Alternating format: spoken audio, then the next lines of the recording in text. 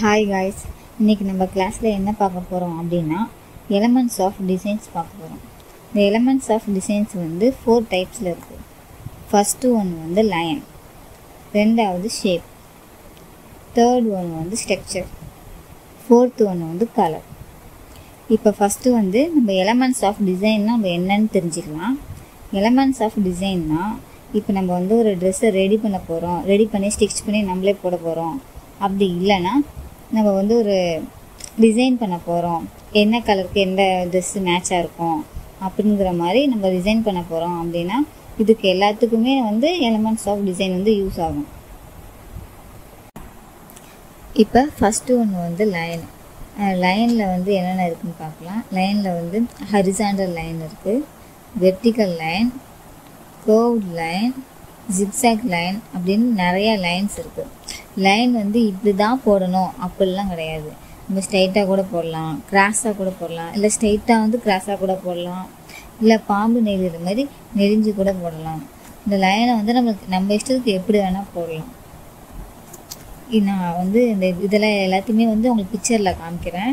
அதை நீங்கள் வந்து வீட்டில் ட்ரை பண்ணி பாருங்கள் இதை எல்லாத்தையும் நீங்கள் போட்டால் தான் உங்களுக்கு வந்து டிராயிங் வரையும் போது கொஞ்சம் ஈஸியாக இருக்கும். இப்போ நெக்ஸ்ட்டு ஒன்று வந்து ஷேப்பு ஷேப்னால் தமிழில் வந்து வடிவம்னு சொல்லுவாங்க. இப்போ ஷேப்பில் என்னென்ன இருக்குது அப்படிங்கிறத பார்ப்போம். ஷேப்பில் வந்து சதுரம் செவ்வகம் ஓவல்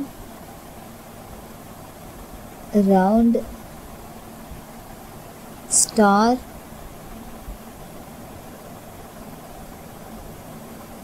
இப்படி நிறைய ஷேப் இருக்குது என்னென்ன ஷேப்பு அப்படிங்கிற பிக்சர் நான் காமிக்கிறேன். அதை பார்த்து நீங்கள் ட்ராயிங் பண்ணிக்கோங்க. நெக்ஸ்ட்டு ஒன்று வந்து ஸ்ட்ரக்சர் அப்படின்னு பார்க்க போகிறோம் ஸ்ட்ரக்சர்னால் இந்த கிளாத்து பார்க்கும்போதோ தொடும்போதோ நம்ம ஃபீல் பண்ணுவோம் இல்லையா? அதுதான் ஸ்ட்ரக்சர் சில கிளா கிளாத்லாம் வந்து சாஃப்டாக இருக்கும். சில கிளாத்லாம் வந்து ரஃப்பாக இருக்கும் இல்லையா?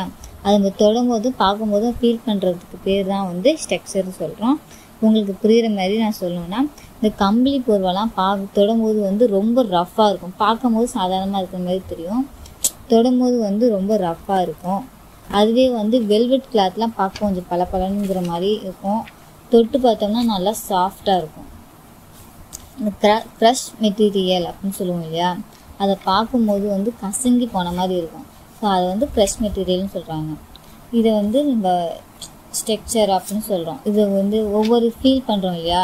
கசங்கி போன மாதிரி இருக்கும். சில இதில் வந்து புள்ளி புள்ளியாக இருக்கும். தொட்டு பார்த்தோம்னா முட்டு முட்டாக இருக்கிற மாதிரி இருக்கும். ஒவ்வொரு கிளாத்தும் ஒவ்வொரு டைப்பில் இருக்கும்.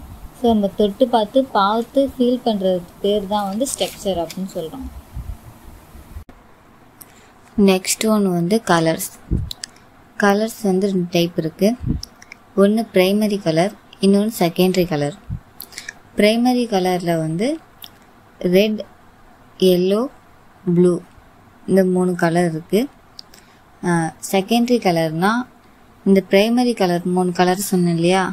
அதை மிக்ஸ் பண்ணி வர்றது தான் செகண்டரி கலர் இப்போ ரெட் எல்லோ இது ரெண்டுத்தையும் எடுத்து மிக்ஸ் பண்ணோம்னா ஆரஞ்சு வரும்.